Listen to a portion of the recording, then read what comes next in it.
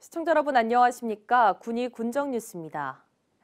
이철우 경북도지사와 권영진 대구시장, 곽상도 이만희 국민의힘 시도당 위원장들은 대구 경북 신공항 특별법의 신속한 제정을 강력히 촉구하고 나섰습니다. 지난 23일 국회 소통관에서 진행한 성명서 발표에선 국회 국토교통위의 결정은 국론을 분열시키고 지역 갈등을 야기시킨다고 유감을 나타냈습니다. 또 영남권 신공항은 다섯 개 시도가 함께 꿈꾸고 품어왔던 1,300만 영남인 모두의 공항이라고 밝혔습니다. 부산, 울산, 경남만을 위한 가덕도 공항은 대구, 경북이 이용할 수 있는 민간 공항도 만들 수 있게 약속하는 것이 당연한 순리고 이치라고 강조했습니다. 이에 새로운 성장 거점이 될 민간 공항이 제대로 만들어질 수 있도록 대구 경북 신공항 특별법 제정은 반드시 필요하다며 조속한 법안 처리를 요구했습니다. 한편 지난 19일 국회 본관 앞에선 장상수 고의현 시도의회 의장, 안경은 홍정근 시도의회 공항특위위원장도 대구 경북 신공항 특별법 보류 결정에 강한 유감을 나타내며 성명서를 발표했습니다. 군의군은 3월 3일부터 코로나19 백신 접종을 시작합니다. 백신 접종 대상자는 65세 미만의 요양시설 입소자와 종사자로 대상자의 접종 동의 여부 파악 결과 95.5%가 접종에 동의했습니다. 이번 접종에 사용될 백신은 아스트라제네카 백신입니다.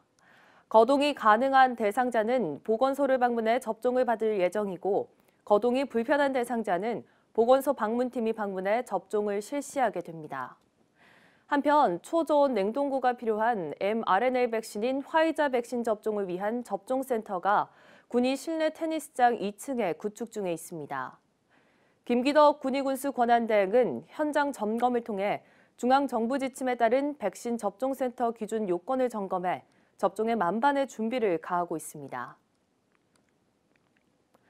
군의군 보건소는 국민의 암 사망률을 줄이고 의료비 부담을 줄이기 위한 무료 검진을 시행하고 있습니다. 올해 무료국가 암 검진 대상자는 건강보험 하위 50%에 해당되는 홀수년도 출생자입니다. 국가 암검진은 지정받은 의료기관이면 전국 어디서나 가능하고 건강보험공단을 통해 확인이 가능합니다. 무료 국가 암검진을 통해 6대 암으로 확진된 경우 건강보험 가입자와 의료보험 수급권자는 암 치료비의 일부를 지원받을 수 있습니다. 한편 암 발생 위험군은 자궁경부암은 20세 이상 여성, 위암, 간암, 유방암은 40세 이상, 대장암은 50세 이상, 폐암은 54세부터 74세 고위험자가 해당됩니다. 특히 대장암은 만 50세 이상이면 매년 검진 대상으로 지정돼 보건소, 보건지소 등에 비치된 분변통을 사용한 뒤 검진 의료기관에 제출하면 됩니다.